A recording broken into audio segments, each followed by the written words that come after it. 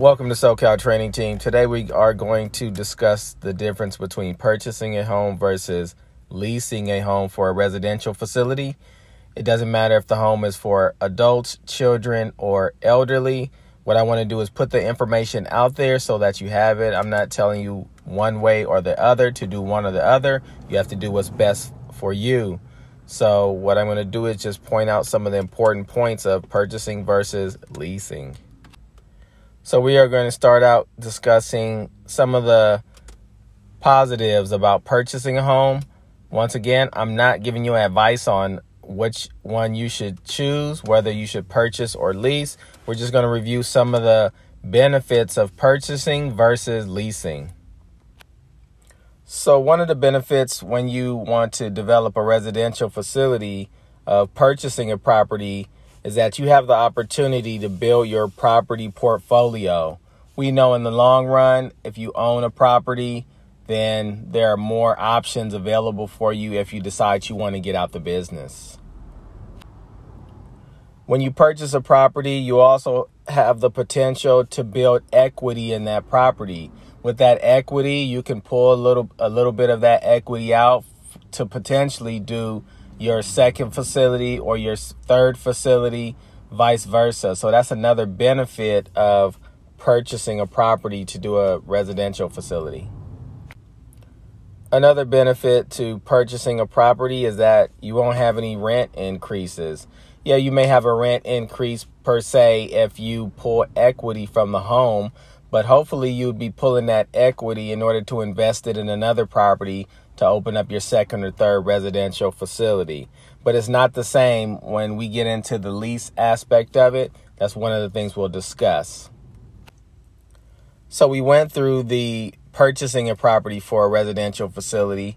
Now we're going to review some of the items that come along with leasing a property to open a residential facility.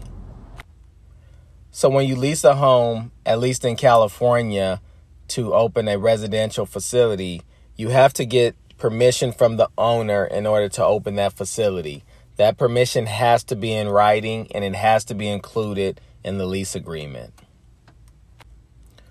One of the downsides of leasing a property is that the owner at any time can decide they want to sell the home. If you're not ready to purchase that home from the owner, then it puts you in a bad situation you have to move to another home or you have to locate another home in, in order to open that facility. Another facility, I should say. Another point to take to take into consideration is that the owner can raise the rent at least every year, uh, depending on the property values. Here in California, uh, there is probably a certain percentage. I don't know the percentage off the top of my head, but just keep in mind that they can raise the rent on you. You have to rely on the owners for repairs. This could be good and this could be bad. Yeah, you may not have to come out of pocket for repairs, major repairs that happen to the home, but you have to keep take into account that the owner is going to make repairs on their schedule, not your schedule. And for a residential facility, that may not be suitable for you. So now you have the good and bad of purchasing versus leasing. I don't think one is good or bad or the other, but it depends on your circumstances and where you're at once you're ready to develop a residential facility. There are plenty of facilities out there that are leased and they're running fine.